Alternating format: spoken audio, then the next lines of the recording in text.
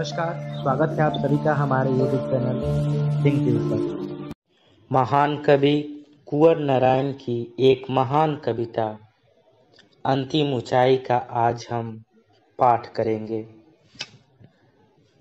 कितना स्पष्ट होता, आगे बढ़ते जाने का मतलब अगर दसों दिशाएँ हमारे सामने होती, हमारे चारों ओर नहीं। कितना आसान होता, चलते चले जाना यदि केवल हम चलते होते, बाकी सब रुका होता। मैं अक्सर इस उल जुलुल दुनिया को दस सिरों से सोचने और बीस हाथों से पाने की कोशिश में अपने लिए बेहद मुश्किल बना लिया है।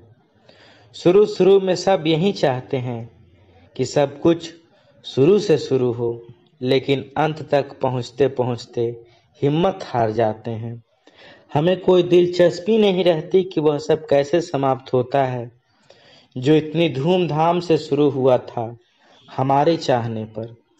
दुर्गम वनों और ऊँचे पर्वतों को जीतते हुए, जब तुम अंतिम ऊंचाई को भी जीत लोगे, जब तुम्हें लगेगा कि कोई अंतर नहीं बचा, अब तुम में और उन पत्थरों की कठोरता में जिन्हें तुमने जीता है जब तुम अपने मस्तक पर बर्फ़ का पहला तूफ़ान झेलोगे और कांपोगे नहीं, तब तुम पाओगे कि कोई फ़र्क नहीं सब कुछ जीत लेने में और अंत तक हिम्मत न हारने में।